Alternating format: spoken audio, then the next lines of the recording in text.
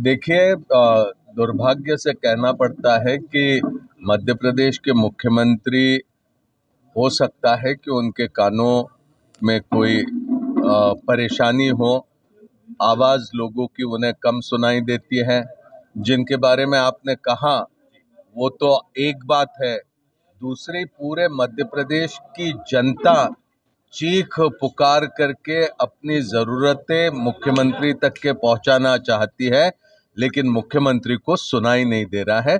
हो सकता है कि उनको कोई परेशानी हो। मध्य प्रदेश के सारे लोग जानते हैं कि यहाँ पर कानून व्यवस्था पूरी तरह से टूट चुकी है।